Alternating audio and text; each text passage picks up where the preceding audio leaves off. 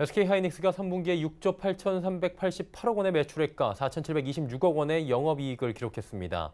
메모리 반도체 가격 급락의 영향으로 영업이익은 13분기 만에 처음으로 5천억 원을 밑돌았습니다. 그러나 초란 흑자라는 평가와는 다르게 주식시장에선 SK하이닉스가 전거래일 대비 2.96% 상승 마감했습니다.